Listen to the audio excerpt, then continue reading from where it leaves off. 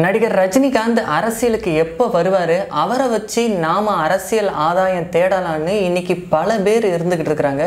அந்த வகையில் தமிழறிவி மணியன் காந்திய மக்கள் இயக்கம் சார்பாக அதுக்கப்புறம் ஆடிட்டர் குருமூர்த்தி கூட அது மூலமாக ரஜினியை பயன்படுத்தி பாரதிய ஜனதா கட்சியை தமிழகத்தில் கால் ஊன்ற வச்சிடலாம் அப்படிங்கிற ஒரு எண்ணத்தில் இருக்கிறாரு. இது எல்லாத்துக்கும் மேலே ரவீந்திரன் துரைசாமி அவர்களுமே இதில் வந்து ரொம்ப உறுதிப்பாடாக இருக்கிற மாதிரி தான் தெரியுது.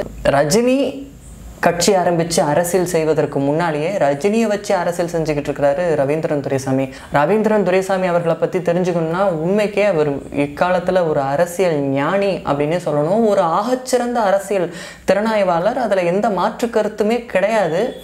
ஆரம்ப காலத்தில் பா பாட்டாளி மக்கள் கட்சியில் செய்தி தொடர்பாளராக இருந்திருக்கிறாரு. அதற்கு பின்னால் பல அரசியல் கட்சி தலைவர்களுக்கு இவர்தான் அரசியல் ஆலோசகராக இருந்திருக்கிறாரு. இவர் அரசியல் ஆலோசகராக இல்லாத அரசியல் கட்சியே கிடையாது. கிட்டத்தட்ட எல்லா கட்சி தலைவர்களுமே இவர்கிட்ட அரசியல் ஆலோசனைகளை பெறுறாங்க. ரவீந்திரன் துரைசாமி அவர்கள் வந்து ரஜினிகாந்த் அரசியல் கட்சி ஆரம்பித்து வரும்போது அதில் ஒரு அங்கமாக இணையலாம் அப்படிங்கிற ஒரு எண்ணத்தில் தான் இருக்கிறாரு. அதன் மூலமாக தனக்கு ஏதாவது அரசியல் ஆதாயம் கிடைக்குமா என்ற திட்டமிடலில் அவர் செயல்படுறதா அவருடைய பேச்சுகள் நடவடிக்கைகள்லாம் அப்படி ஒரு கேள்வியை நமக்குள்ள எழுவதை தவிர்க்க முடியல.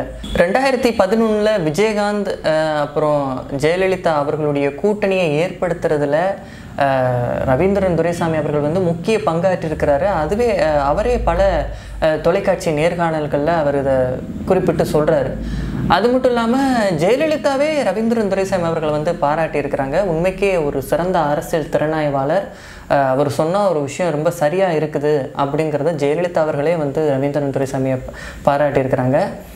இதுக்கு கைமாறா ஜெயலலிதா அவர்கள் வந்து ரவீந்திரன் துரைசாமிக்கு ஒரு ராஜ்யசபா சீட்டு கொடுக்கறதா பேச்சு. ஆனால் அப்படி ஒருவேளை ரவீந்திரன் துரைசாமி ஜெயலலிதாவுக்கு நெருக்கமானவராக ஆயிட்டார்னா அது தன்னுடைய அரசியல் வாழ்க்கைக்கு எதிராக அமைஞ்சிரும்னு சசிகலா நினைச்சதாகவும் ஜெயலலிதா கூட ரவீந்திரன் துரைசாமி நெருங்க விடாமல் தடுத்ததாகவும் சொல்லப்படுது. இதனால தான் ரவீந்திரன் துரைசாமி அவர்களுக்கு வந்து சசிகலா மீது ஒரு கடும் கோபம் இருப்பதாகவும் சொல்லப்படுது. அதாவது தனிப்பட்ட முறையில் ரவீந்திரன் துரைசாமிக்கும் சசிகலா அவர்களுக்கும் ஒரு மனஸ்தாபம் மன வருத்தம் இருக்கதான் செய்கிறது. ரவீந்திரன் துரைசாமி அவர்களுக்கும் தமிழிசை சவுந்தரராஜன் அவர்களுக்கும் வந்து நல்ல நல்ல ஒரு நெருக்கம் இருப்பதாகவும் சொல்லப்படுது. குறிப்பாக சசிகலா அவர்கள் வந்து ஜெயலலிதா அவர்களுடைய மரணத்திற்கு பிறகு சசிகலா அவர்கள் வந்து முதல்வர் பதவியை அடைந்து விடக்கூடாது என்பதற்காக ஒரு மிகப்பெரிய டீம் ஒர்க்கே தமிழகத்தில் செய்யப்பட்டிருக்கு. அந்த டீமில் one of the member Ravindran Duraisamy அவர்கள் அது போக தமிழிசை சவுந்தரராஜன் அது போக ஆடிட்டர் குருமூர்த்தி இவர்கள் எல்லாம் சேர்ந்து தான் இந்த பணியை செய்திருக்கிறார்கள். அவர்கள் யாரை மையப்படுத்தி இதெல்லாம் செஞ்சுருக்கிறாங்கன்னா ஓபிஎஸ் சிபிஎஸ் இவங்க எல்லாரும் ஒரு கூட்டணியாக இருந்து தான் டெல்லி வரைக்கும் சென்று சசிகலா முதல்வர் ஆவதை தடுப்பதற்கான முயற்சிகள் எல்லாம் இவர்கள் எல்லாருமே மேற்கொண்டு இருக்கிறார்கள். அதையும் ஒரு நேர்காணலில் ரவீந்திரன் துரைசாமி அவர்களை ஒப்புக்கொள்கிறார். இன்றைக்கும் இபிஎஸ் ஓபிஎஸ் ஆட்சி நிலைத்து நிற்பதற்கான வியூகங்களை வகுத்து கொடுப்பவர்களில் முதன்மையானவராக ரவீந்திரன் துரைசாமி இருக்கிறார். ஒரு தமிழகம் அப்படின்னு இருக்குன்னா அதில் பல்வேறு சாதி சார்ந்த மக்கள் இருக்கிறாங்க. குறிப்பிட்ட ஜாதி மக்கள் அதிகமாக இருப்பாங்க. குறிப்பிட்ட ஜாதி மக்கள் ரொம்ப குறைவான அளவில் இருப்பாங்க. ஆனால் எல்லா ஜாதி மக்களுக்கான அரசியல் பேசப்பட வேண்டும். அவர்களுக்கான அரசியல் உரிமை வழங்கப்பட வேண்டும் அப்படிங்கிறதான் ரவீந்திரன் துரைசாமி அவர்களுடைய அடிப்படை கொள்கையாக அடிப்படை விருப்பமாக இருக்குது அந்த வகையில் திராவிட முன்னேற்றக் கழகம் குறிப்பிட்ட சாதியினரை மட்டுமே அஹ், நம்பி அரசியல் செய்வதாகவும் மற்ற ஜாதி சார்ந்த மக்களுக்கு எந்த ஒரு அரசியல் வாய்ப்பையும் வழங்காமல் தவிர்த்து விடுவதாகவும் திராவிட முன்னேற்ற கழகம் மீது ஒரு குற்றச்சாட்டை ரவீந்திரன் துரைசாமி வைக்கிறாரு. சமூக நீதிக்கு எதிரான கட்சி அப்படிங்கிற மாதிரி தான் திமுகவை சொல்கிறாரு அதனால தான் அவர் வந்து திராவிட முன்னேற்றக் கழகம் சார்ந்த கொள்கைகளும் அவருக்கு பிடிக்காது. அவர் அரசியலில் ஒரு பொறுப்புக்கு வர வேண்டும் ஒரு அரசியலில் ஒரு பதவிக்கு வர வேணுங்கிறது வந்து உண்மைக்கே அவருக்கு அது தகுதியான ஒரு பொறுப்பு தான் கட்சியில் முத பாட்டாளி மக்கள் கட்சியில் இருந்தார். அதுக்கப்புறம் அண்ணா திராவிட முன்னேற்ற கழகத்தில் தனக்கு ஒரு ஆதாயம் கிடைப்பதற்கான முயற்சியில் ஈடுபட்டார். ஆனால் இது ரெண்டுலையுமே அவருக்கு கை நழுவி போனதுக்கு காரணம் அவருடைய அதிபுத்திசாலித்தனம் தான். அவர் அரசியலில் மேதை. அவர் அரசியலில் பல்வேறு விஷயங்களை நன்கு அறிந்தவர். அவரிடம்தான் பல அரசியல் கட்சி தலைவர்களே ஆலோசனை பெற்று முடிவுகளை எடுக்கிறார்கள் என்று சொன்னால் இவரை நம்ம கட்சிக்குள்ள விட்டா நமக்கு எங்கே ஆபத்தாக போயிருமோ அப்படின்னு ஒன்று அந்த கட்சி தலைவர் நினைக்கிறாங்க. இல்லை அந்த தலைவரை சுற்றி இருக்கக்கூடிய இரண்டாம் கட்ட தலைவர்கள் நினைக்கிறாங்க. அந்த வகையில் அதனால தான் அவர் புதிதாக கட்சி ஆரம்பித்து வரக்கூடிய ரஜினிகாந்த் கூட கை கோர்த்தா அது நமக்கு ஒரு ஆதாயத்தை தேடித்தரும்.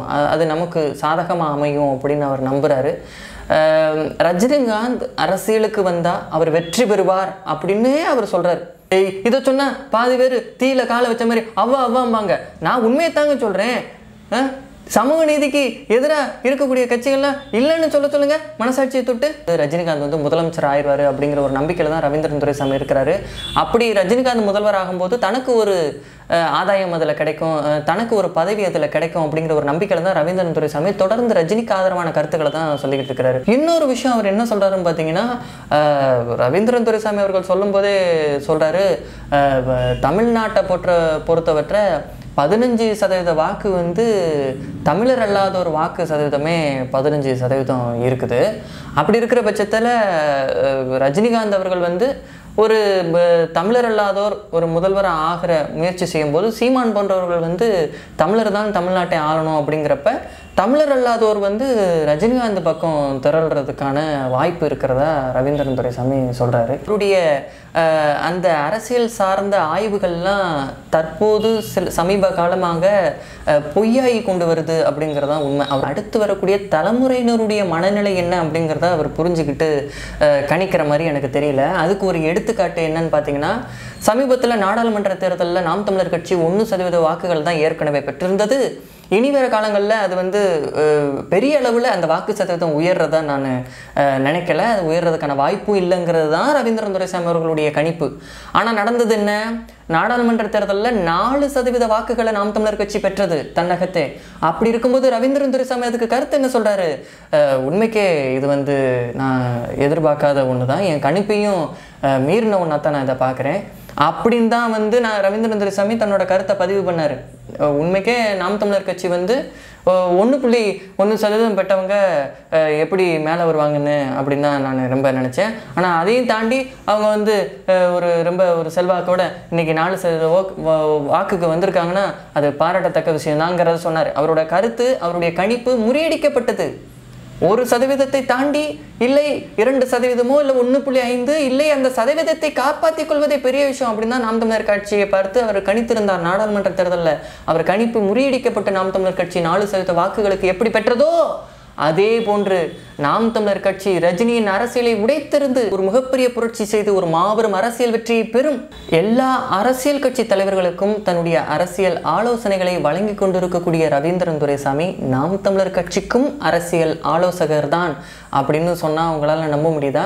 இரண்டாயிரத்தி பதினாறு சட்டமன்ற தேர்தலில் அன்புமணி ராமதாஸ் தனிச்சு நின்றாரு. நாம் தமிழர் கட்சியின் தலைமை ஒருங்கிணைப்பாளர் சீமானும் தனித்து தான் போட்டிட்டாரு அந்த சமயத்தில் அன்புமணி ராமதாஸ் சீமானுக்கு அழைப்பு விடுத்ததாகவும் சீமானும் அன்புமணி ராமதாஸோடு கைகோர்க்கலாம் என்ற ஒரு சிந்தனை எழுந்ததாகவும் கூறப்படுது. அந்த சமயத்தில் சீமான் ரவீந்திரன் துரைசாமி அவர்கள்கிட்ட ஆலோசனை கேட்டதாகவும் அப்போ ரவீந்திரன் துரைசாமி இல்லை நீங்கள் தனிச்சு நில்லுங்க. அதுதான் உங்களுக்கு நல்லது. அன்புமணி ராமதாஸின் இந்த முடிவை நம்ம உறுதியாக சொல்ல முடியாது. இந்த தேர்தலில் அவர் இப்படி இருக்கலாம். அடுத்த தேர்தலையே அவர் கூட்டணி போயிடலாம் நீங்கள் உங்கள் கொள்கையில் நீங்கள் உறுதியாக இருங்க. நீங்கள் முத முத அரசியலில் காலடி எடுத்து வைக்கிறீங்க. அதனால் நீங்கள் தனிச்சு நிற்கிறது தான் உங்களுடைய பலத்தை எவ்வளோ இருக்குது அப்படிங்கிறத தெரிந்து கொள்ள கொள்வதற்காக ஒரு வாய்ப்பாகவும் இருக்கும் அப்படின்னு ஒரு ஆலோசனையை ரவீந்திரன் துரைசாமி வழங்கியிருக்கிறாரு. அந்த மாதிரி பல அரசியல் கட்சிகளுக்கு மட்டுமல்ல நாம் தமிழர் கட்சிக்கும் கூட அரசியல் ஆலோசகராக விளங்கக்கூடிய ரவீந்திரன் துரைசாமி ஒரு நல்ல மக்களுக்கான அரசியல் கட்சிகளுக்கு ஆதரவாக ஒரு புரட்சிகர அரசியல் மாற்றத்திற்கு உதவணும் அந்த பக்கம் நிற்கணும் அப்படிங்கிறது தான் என்னோட கருத்தாக இருக்குது நன்றி வணக்கம். மேலும் பல காணொளிகளை காண இலக்கு தொலைக்காட்சியின் பிரத்யோக பக்கத்தை பார்வையிடுங்கள். தொடர்ந்து நாம் தமிழர் கட்சி சார்ந்த செய்திகளை தெரிந்து கொள்ள இலக்கு தொலைக்காட்சியுடன் இணைந்திருங்கள். உங்களுக்கு பிடித்த காணொளிகளை உறவுகளோடு பகிர்ந்து கொண்டு உங்களது ஆதரவை வழங்க அன்புடன் கேட்டுக்கொள்கிறோம்.